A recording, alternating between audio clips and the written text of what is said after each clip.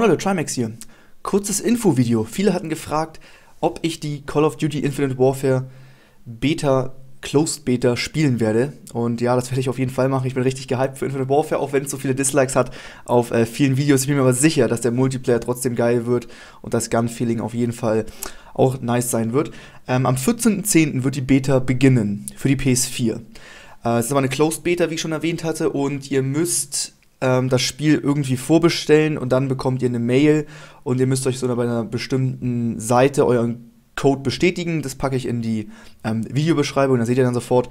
Ähm, danach, irgendwann später, wird die Beta auf der Xbox rauskommen. Und ob das auf dem PC rauskommt, ist unbekannt. Wahrscheinlich wird es keine Beta-Version auf dem PC geben. Aber wenn ihr ähm, Call of Duty Infinite Warfare bei der Closed Beta mitmachen wollt, ganz, ganz viele machen es so.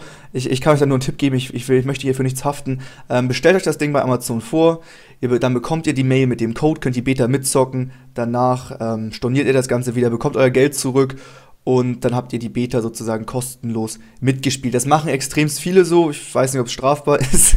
ich selber mache es nicht. Ich bestelle bestell mir das Spiel ja eh. Ähm, das nur so als kleiner Tipp. Und ich packe mal die ganzen Links, wo ihr das Ding auf Amazon bestellen könnt, auch in die Beschreibung. Okay, das war's soweit. Nur ein kurzes Video. Ich hoffe, ich konnte euch damit ein bisschen weiterhelfen und wir sehen uns dann in der Call of Duty Infinite Warfare Beta.